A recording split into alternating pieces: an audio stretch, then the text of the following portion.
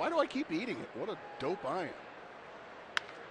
Bouncing ball, Ryal there to make the play. It finds you, throws behind Boyer, but Boyer cleans it up a bit. A nice play.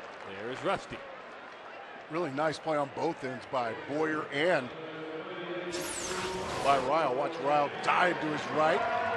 Sharply hit ball by Seth Smith.